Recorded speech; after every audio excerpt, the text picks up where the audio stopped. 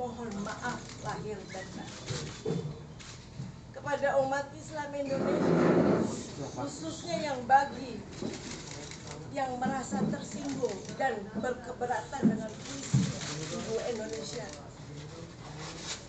Selain itu saya menyampaikan permohonan maaf kepada anak Avanti dan keluarga serta apresiasi dan terima kasih kepada seluruh fashion designer Indonesia agar tetap berkreasi dan produktif.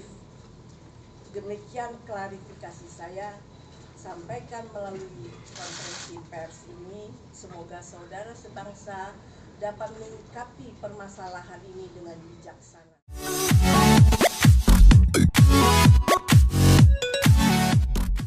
Oh.